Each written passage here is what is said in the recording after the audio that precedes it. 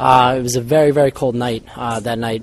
Uh, I was assigned to uh, West 44th Street and Broadway, and uh, I was on the foot post there. And um, I myself that night had about two pairs of socks on, winter socks, and um, also my combat boots, and uh, my feet were still freezing.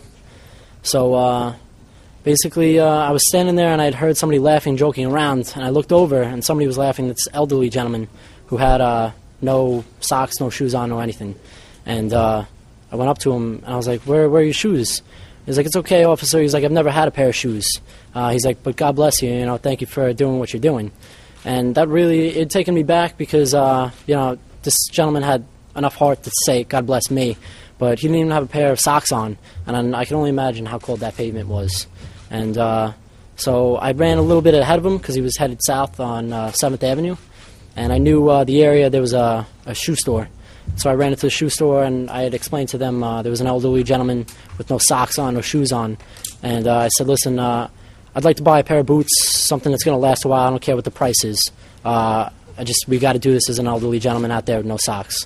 And uh, Skechers helped me out. So while they were waiting uh, to find out what pair they have, I ran outside and I grabbed the elderly gentleman, and you know I said, "Listen, I got a surprise for you."